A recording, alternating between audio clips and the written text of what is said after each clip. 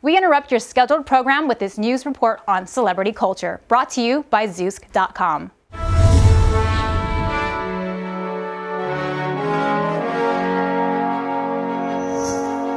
Zoosk surveyed 1,500 single men and women, and 22% responded that the oddest celebrity odd couple who are still together was Tom Cruise and Katie Holmes.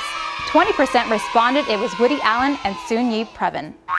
Apparently, marrying one's own stepchild is more acceptable than marrying Tom Cruise.